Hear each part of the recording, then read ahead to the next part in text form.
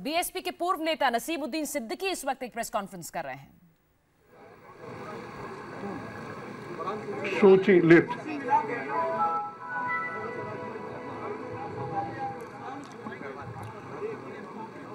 मैं आज सभी मीडिया बंधुओं का स्वागत करता हूँ।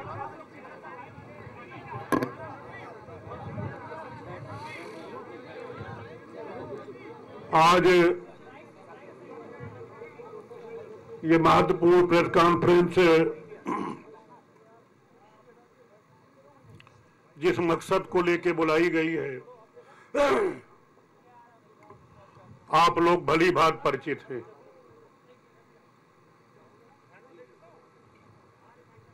आज मैं जो भी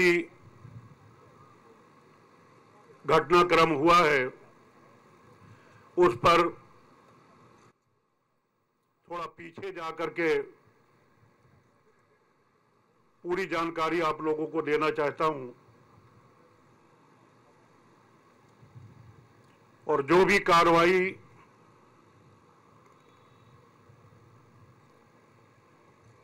अनर्गल आरोप लगाकर,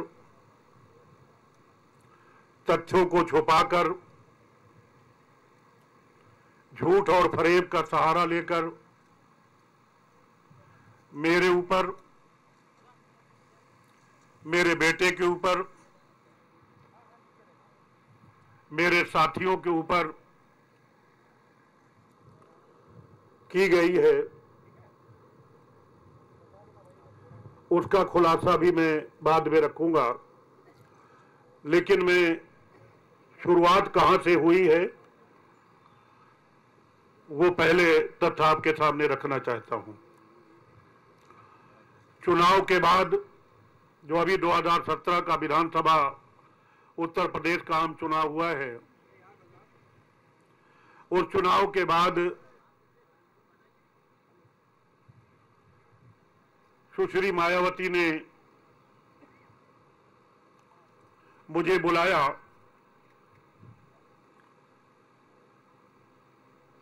मेरे साथ मेरा बेटा भी था अफजल। दिल्ली बुलाया गया और मुझसे कहा कि जो मैं आज जानना चाहती हूँ, अपने नेता को सही सही बताना चाहिए, छुपाना नहीं चाहिए। और उन्होंने सबसे पहले यही सवाल किया कि मुसलमानों ने बीएसपी को वोट क्यों नहीं दिया? मैंने कहा, बहन जी, ऐसा नहीं है। मुसलमानों ने बीएसपी को वोट दिया। असलियत यह है कि जब तक कांग्रेस और सपा का गठबंधन नहीं हुआ था तब तक मुसलमान हमारे साथ ज़्यादा तादाद में था और जैसे ही गठबंधन हो गया, कांग्रेस और सपा का मुसलमान कंफ्यूज हुआ और वो बट गया, हमें भी मिला। लेकिन पहले जितना हमारे साथ खड़ा था, उसमें थोड़ी कमी आई। कहने लगी कि मैं आपकी बात से सहमत नहीं हूँ। हालाँकि ये बात उन्होंने, जो मैंने बात अभी कही है, ये बात उन्होंने 19 अप्रैल की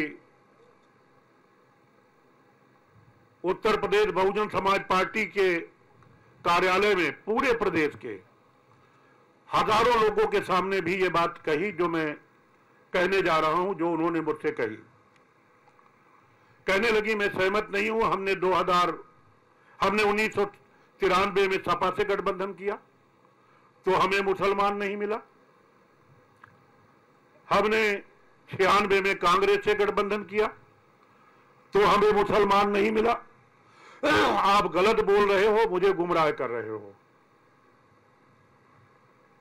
और उल्टा सीधा बोलना शुरू कर दिया। जैसी उनकी आदत है, इससे पहले भी बोला, मैंने समझाया। पहले जो चुनाव हुए, कहा, ठीक है भाई, भविष्य में नहीं बोलूँगी।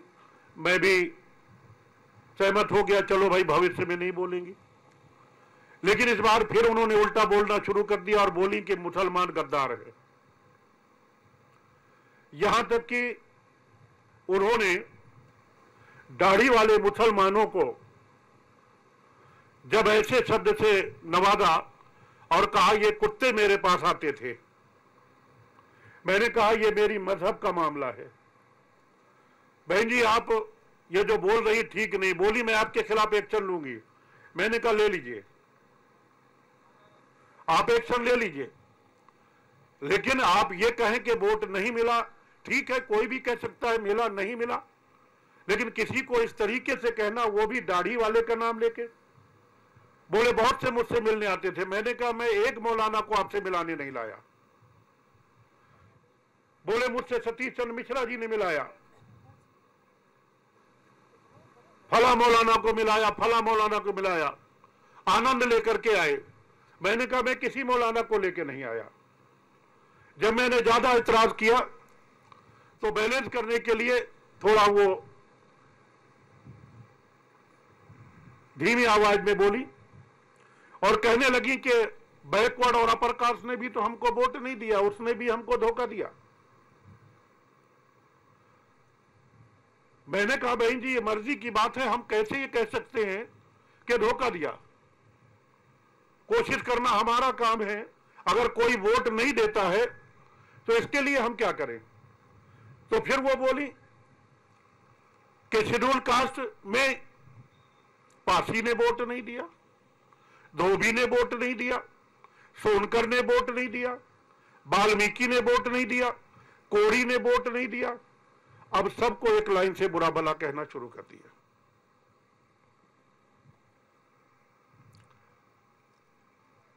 और जब मैंने कहा कि बहन जी, इससे कोई बात नहीं बनेगी, कहने लगे, ठीक है, मैं तुमसे बातें बनू बात करूँगी।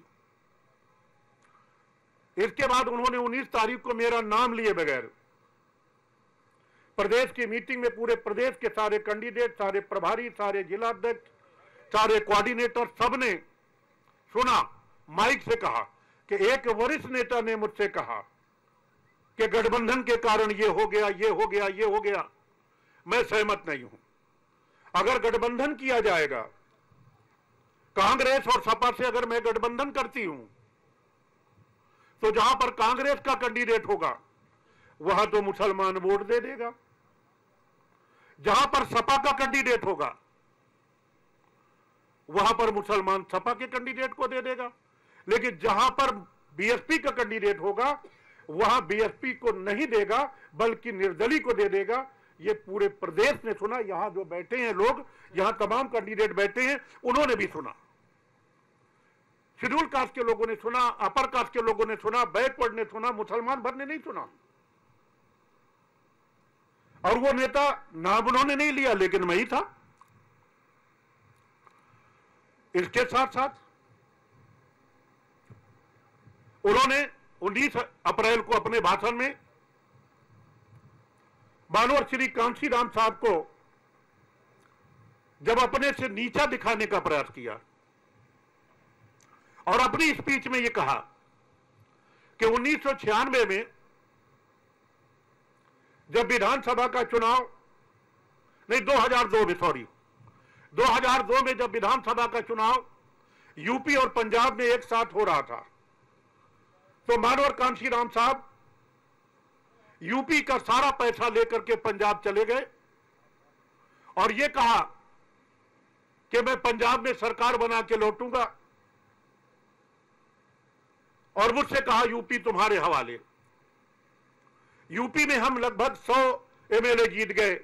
सुश्री मायावती जी बोली, लेकिन मानवर कांशी राम साहब पंजाब में खाता नहीं खोल पाए। मैंने मानवर कांशी राम साहब को पीछे धकेलने का काम किया। दोबारा जब मैं मिला, बहन जी बोली के मैंने जो आज लोगों के सामने बात रखी है, लोगों ने क्या कहा? मैंने कहा, बहन जी, लोगों को अच्छा नहीं लगा। जिन कांशीराम साहब ने नींव रखी बीएसपी की, जिन कांशीराम साहब ने आपको बीएसपी में शामिल किया, आपको कैडर सिखाया, आपको राजनीति सिखाई, आपने अपने आप को उनसे ऊपर साबित कर दिया। ये कार्यकर्ताओं को अच्छा नहीं लगा। बोले, भाई, फिर आप वही बात करने लगे, मैं आपके खिलाफ कार्रवाई करूँगी। मैंने कहा, कर दीजिए। मैं कर, कर दीजिए। फिर नॉर्मल हुई। फिर कहने लगी कि नहीं भाई चलो अच्छी बात है आप बात बता रहे हो। मुझे भले ही बुरा लग रहा है सारी बात बताओ और क्या है लोगों का? मैंने कहा बहन जी आप घोषणा पत्र जारी नहीं करती अगर पूछ रही हूँ तो मैं बताता हूँ। लोगों का कहना है कि आप घोषणा पत्र जारी करो। और लोगों का यह कहना है कि पार्टी की यह दुर्गत इसलिए हुई है कि आप लोगों से मिलना पसंद नहीं करती। आप जिला स्तर के लोगों को बुला करके मिलो। इसके साथ साथ बहन जी, आप अगर पूछ रही हैं तो विधानसभा 2017 के चुनाव में आपने सिर्फ़ 55 विधान 55 जनसभाएँ लगाई और बीच में कई दिन छुट्टी मार दी। जबकि दूसरे नेताओं ने 250 300 दूसरी पार्टी के नेताओं ने किया।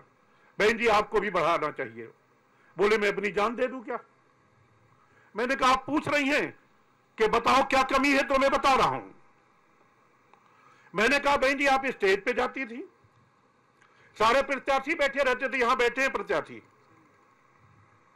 अगर एक एक प्रत्याशी का नाम ही ले लेती कि उस विधानसभा सीट से ये है, इनको जिता दो, इन विधानसभा सीट से ये है, इनको भी जिता दो, आपने किसी प्रत्याशी का, के लिए वोट ही नहीं मांगा। ये भी उनको नाराज़गी ज़ाहिर हुई। मैंने कहा, बहन जी, आपकी सुरक्षा के लिए हमने हमेशा ख्याल रखा।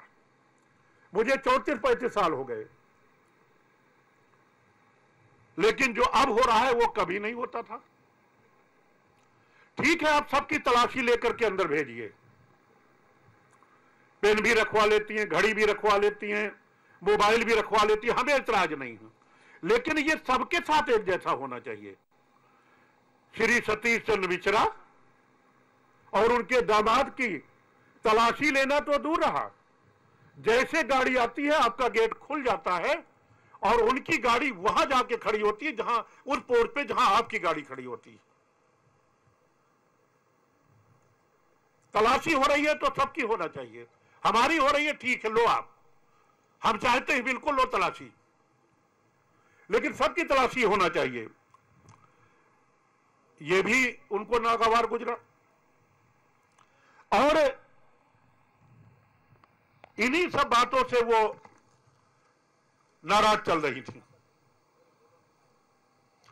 एक दिन मुझे बुलाया, भाई, यहाँ आओ। अकेले आना। मैंने कहा, मैं अकेले तो वैसे ही आऊँगा, जिसको आप कहेंगी, तभी मैं साथ मिलाऊँगा मैं अकेले गया। कहने लगी कि इस समय पार्टी को पैसे की बहुत ज़रूरत है। मैंने कहा, बहन जी, वो तो हमेशा ज़रूरत पड़ती है। पैसे की ज़रूरत हमेशा पड़ती है। कहने नहीं, भाई, कहने लगी, नहीं भाई, आपको इंतज़ाम करना है। मैंने कहा, बताइए, मैंने जो हो सका है। आप मैंने जो जो कहा, मैंने आपकी सारी बात मानी। आपने जो कहा, मैंने जी बहन जी के अलावा कुछ कहा ही नहीं। बताइए, बोले पचास लाख, पचास करोड़ रुपए की पार्टी को ज़रूरत है। मैंने कहा, बहन जी, मैं कहाँ से लाऊं? मेरे पास तो नहीं है। बोले, अपनी प्रॉपर्टी बेच दो। मैंने कहा, बहन जी, आपको कैश चाहिए ना? मैं अपनी प्रॉपर्टी बेच भी दूँगा। तो पचास करोड़ का चौथाई हो जाए तो बड़ी भारी बात है।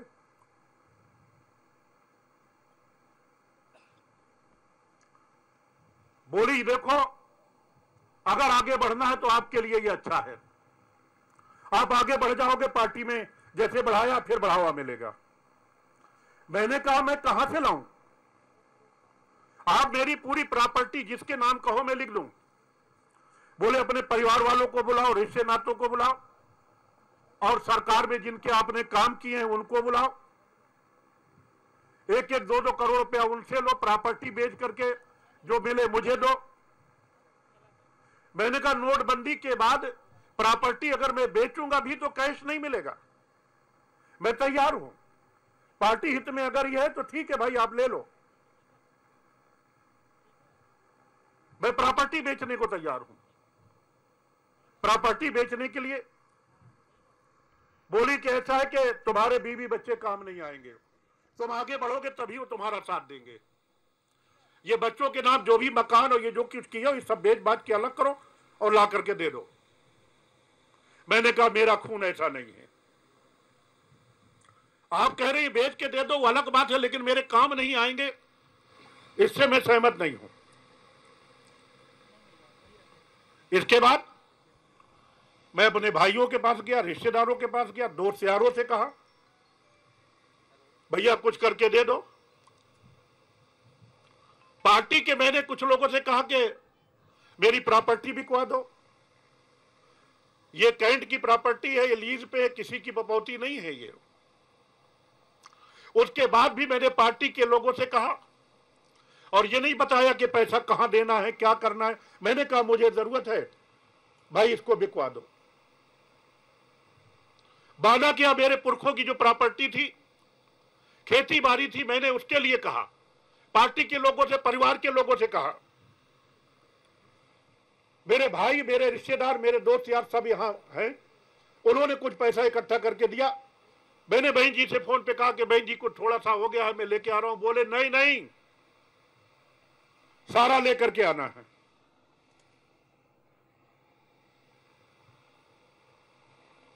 मैंने कहा कि बहन जी, मैंने चौंतीस साल पार्टी में हो गए मुझे। जो आपने कहा वो मैंने किया, जो आप कहेंगी वो मैं करूँगा। मेरे ऊपर तरस खाइए, मेरे मेरे पास नहीं है। और इसके प्रमाण मैं अभी दे रहा हूँ कि मैंने उनको क्या कहा। मैंने कहा, बहन जी, आपको मालूम है कि उन्नीस सौ छियानवे में आप बदायूं ज़िले की बिलसी सुरक्षित थी, उस समय अब जनरल हो गई। आप बदायूं ज़िले की बिलसी सुरक्षित सीट से चुनाव लड़ रही थी। आपने मुझे इलेक्शन एजेंट बनाया था। मुझे चुनाव प्रभारी भी बनाया था।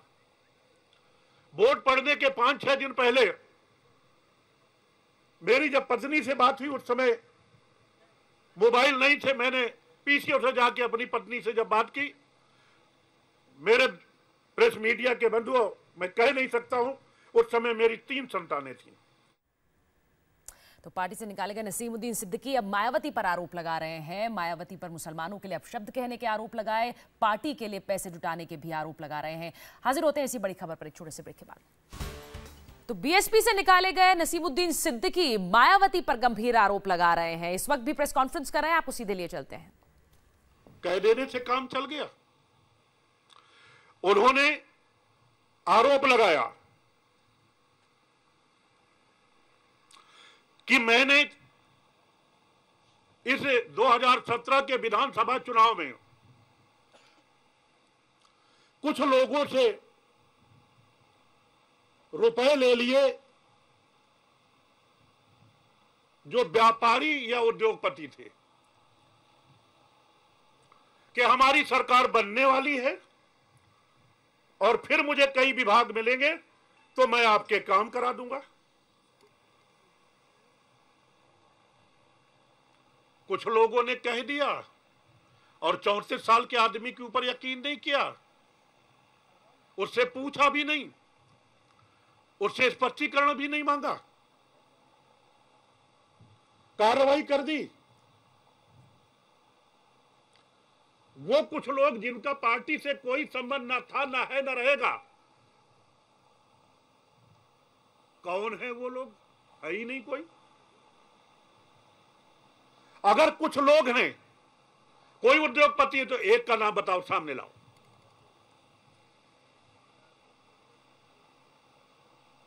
आपने मुझे हत्या के इल्ज़ाम में सजा तो सुना दी, लेकिन मैंने हत्या किसकी की?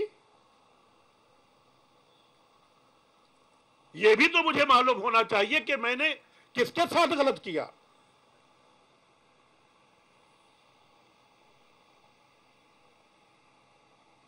इसके साथ साथ मेरे ऊपर आरोप और लगाया कि मुझे मध्य प्रदेश दिया गया था उत्तर प्रदेश का कुछ एरिया मध्य प्रदेश का दिया गया था। कि संगठन का काम करो, मैं वहाँ नहीं गया। बल्कि लखनऊ, नोएडा दिल्ली में रह के पार्टी विरोधी गतिविधियों में लिप्त रहा। अरे वो पार्टी विरोधी गतिविधियाँ क्या है भाई?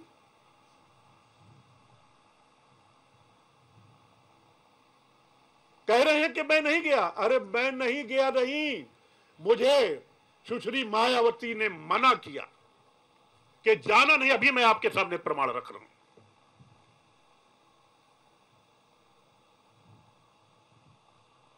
शहरी निकाह के चुनाव तक मत जाना।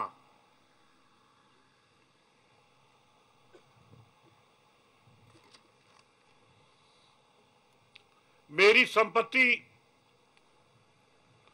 बेनामी बता दी कि मेरी बेनामी संपत्ति है।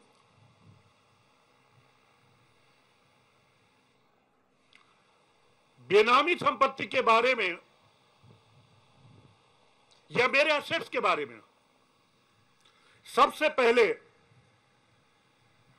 2003 में ताज कॉरिडोर के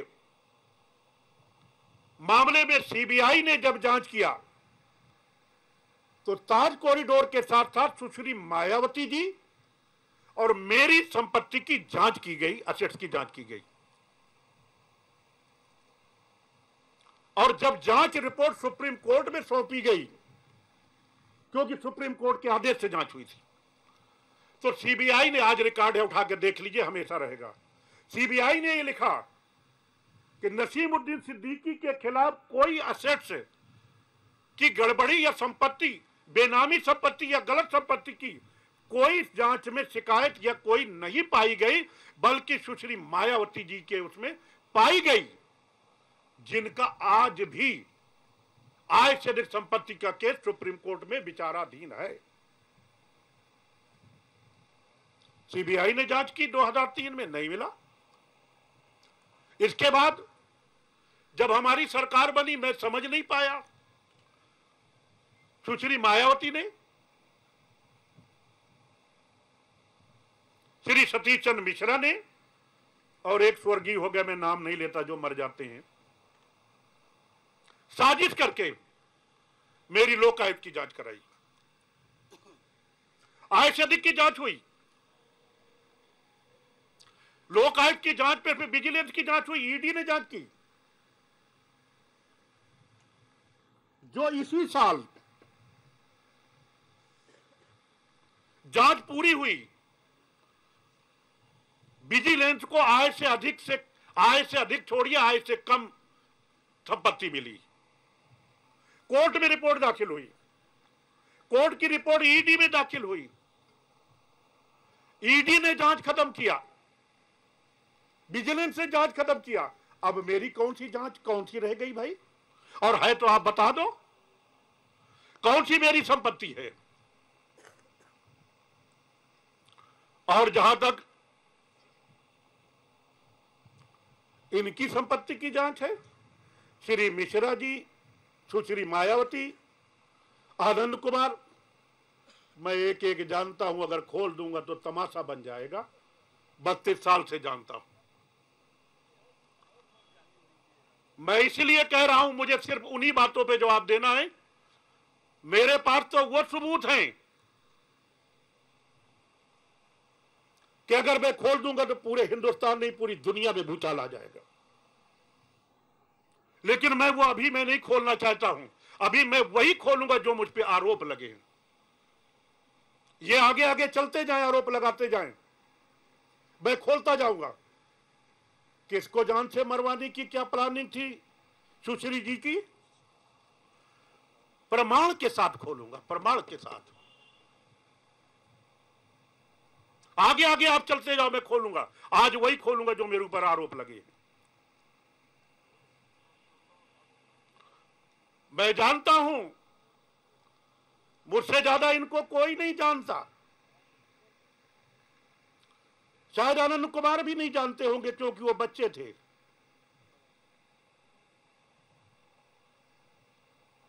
और वो बहन जी उनको दूर दूर रखती थी, अभी पास पास तो अभी दस साल से आए हैं, उससे पहले तो दूसरे पास पास थे ज़ाहिर वो उनके घर का मामला मुझे उस पर नहीं लेना, मेरे घर में भी तमाम मामले थे, उस पर मुझे नहीं जाना। इनके कई गिरोह हैं। और एक गिरोह ऐसा भी है जो अपराधियों का है। वो अपराधियों का गिरोह क्या करता है? सुश्री मायावती जी के खिलाफ किस चैनल ने दिखाया, किस अखबार ने दिखाया? गाड़ी तोड़ दो, आग लगा दो। कौन सी नेता बोली, उसको आग लगा दो उसके घर में?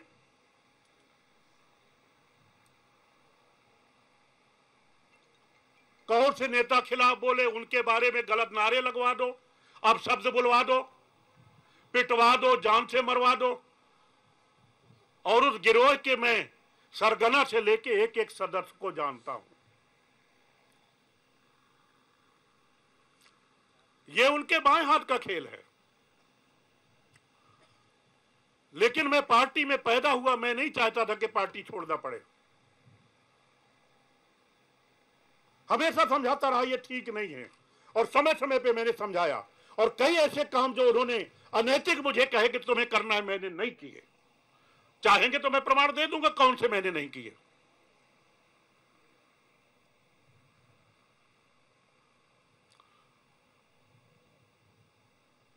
मैं सबकी जन्म कुंडली जानता हूँ। और मैं ये भी जानता हूँ कि मैं जो आज बोल रहा हूँ तो मेरे बोलने पर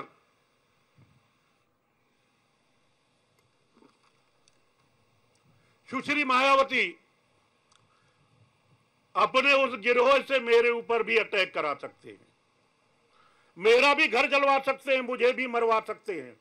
मेरे बच्चों को पिटवा सकते हैं, मेरे पत्नी को पिटवा सकते हैं, परिवार वालों को कर सकते हैं। और मेरे जो साथ में बैठे हैं अभी, या जो पूरे प्रदेश में मेरे साथ में मेरे शुभचिंतक हैं किसी को कहीं पिटवाया जा सकता है। जहाँ तक मेरा सवाल है, मैंने मिलिट्री में नौकरी की है, मैंने आर्मी का नमक खाया बॉर्डर में रह करके विदेशियों से मैंने मुकाबला किया है। कई बार लाशों को सत्रह सत्रह किलोमीटर बर्फ़ के पहाड़ में कंधे में लाद करके भी लाना पड़ा है। मैं इन अपराधियों से नहीं डरता हूँ। जो करा सकती हूँ वो करा ले। मैंने फैसला कर लिया है कि मैं मर जाऊँगा, लेकिन अब बीएसपी से बाहर हो गया। गलत बात नहीं मानूँगा और न इनके सामने अब झुकूँगा। आज क्या हो रहा है? खास तौर पे दलित समाज के लोग परेशान हैं। कि सुश्री मायावती श्री सतीश चंद्र मिश्रा एंड कंपनी से मिलकर, जिसमें श्री आनंद कुमार भी शामिल हैं। मानव श्री कांशीराम जी के, वह बाबा साहब डॉक्टर अंबेडकर के सपने को चकनाचूर और तबाह कर रही जिसका खामियाजा अन्य सभी समाज के साथ साथ खास तौर पे दलित समाज, सुश्री मायावती एंड कंपनी को भोगने पे ज़रूर मजबूर करेगा। तो नसीमुद्दीन सिद्दीकी अपने परिवार और अपनी जान को खतरा बता रहे हैं और कह रहे हैं कि मायावती एक ऐसे गिरोह का भी संचालन करती हैं जो लोगों को धमकी देने लोगों को पीटने का भी काम करता है। हमारे फ़िलहाल वक्त एक छोटे से ब्रेक का लेकिन ब्रेक से पहले ओ माय गॉड में देखिए केजरीवाल से क्यों रूठी दिल्ली? तो बीएसपी से निकाले गए नसीमुद्दीन सिद्दीकी अपनी प्रेस कॉन्फ्रेंस में बकायदा मायावती से की गई फ़ोन की बातचीत सुनवा रहे हैं आपको सुनाते हैं।